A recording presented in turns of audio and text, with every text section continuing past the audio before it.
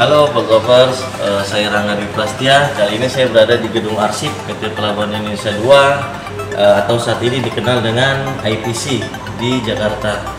Uh, kenapa saya ada di Gedung Arsip? Karena saya ingin membahas atau mengupas terkait pengelolaan arsip di PT Pelabuhan Indonesia 2.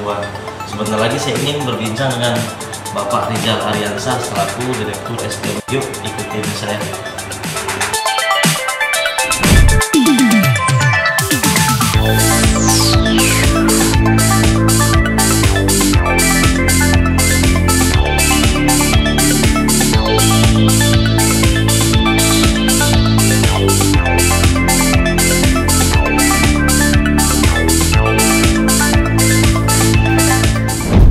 PCI-PC ke depan adalah Worldcast Spot yang berbasis digital.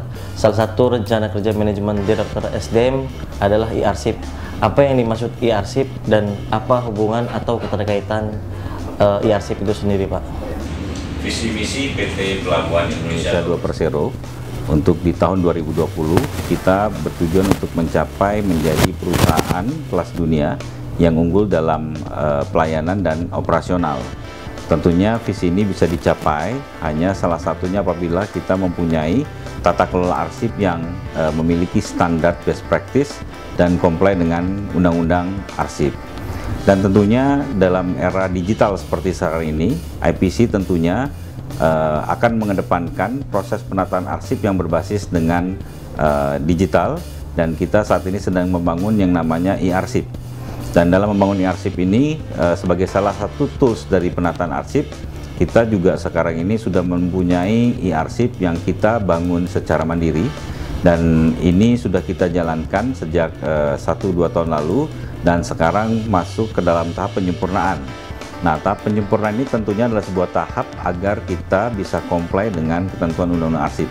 Karena hasil akhir yang diharapkan dari sebuah pengarsipan yaitu kita memiliki tata kelola arsip dan kita memiliki penataan arsip yang memang sesuai dengan standar best practice dan tentunya dalam rangka nantinya arsip-arsip ini dibutuhkan untuk kebutuhan audit ataupun penanganan kasus-kasus hukum akan mudah diperoleh oleh IPC. Hmm, dan target apa sih Pak yang ingin dicapai dengan program e-arsip ini?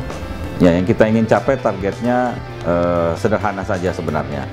Arsip-arsip ini dikelola, ditata dengan baik, disimpan di tempat yang memang layak sesuai dengan ketentuan dan kemudian melalui arsip ini akan memudahkan kita untuk kemudian melakukan filing kemudian melakukan monitoring sampai kemudian kita memanggil kembali mencari kembali arsip-arsip ini secara digital jadi tentunya ya arsip ini akan memudahkan kita semua untuk uh, melakukan penataan arsip Pak sampai saat ini kan uh, eh, IPC melakukan uh, pembenahan arsip sampai sejauh mana sih Pak e, pembenahan yang dilakukan oleh pihak manajemen yang Bapak pimpin?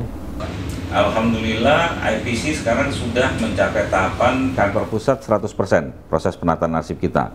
Kemudian cabang Tanjung Priuk sudah 80%, cabang Sunda Kelapa sudah mencapai 50% lebih, dan kita harapkan di tahun ini semua cabang sudah mencapai 100% penataan arsip, baik dari sisi arsip yang masih aktif ataupun arsip yang sudah tidak digunakan, dan ini disimpan dalam satu tempat yang memang layak memenuhi standar penyimpanan arsip. Pak, dalam pengelolaan e-arsip ini eh, apakah dilakukan secara mandiri oleh internal IPC atau menggandeng pihak lain? Saat ini IPC dalam melakukan penataan arsip bekerja sama dengan Arsip Nasional Republik Indonesia, sebuah institusi yang memang merupakan institusi negara memiliki kompetensi dan kewenangan untuk melakukan penataan arsip. Dan kita sudah bekerja sama sejak tahun lalu, kita sudah menandatangani MOU dan nantinya kerjasama akan dilaksanakan uh, sampai seluruh penataan arsip selesai di 12 cabang dan insya Allah kita akan kembangkan terus sampai ke 17 anak perusahaan IPC sehingga IPC secara grup sebagai holding perusahaan holding ini bisa melakukan penyertaan arsip dengan satu uh, pedoman yang sama dengan satu pola penataan arsip yang sama yang tetap berbasis digitalisasi arsip. Bahwa menata arsip itu merupakan salah satu tugas yang melekat daripada semua insan IPC agar kita semua mulai saat ini memiliki budaya untuk e, melakukan penataan arsip sebagai bagian yang embedded dalam keseharian kita sehingga perusahaan ini memiliki tata kelola arsip yang sesuai dengan best practice perusahaan-perusahaan yang berkelas dunia.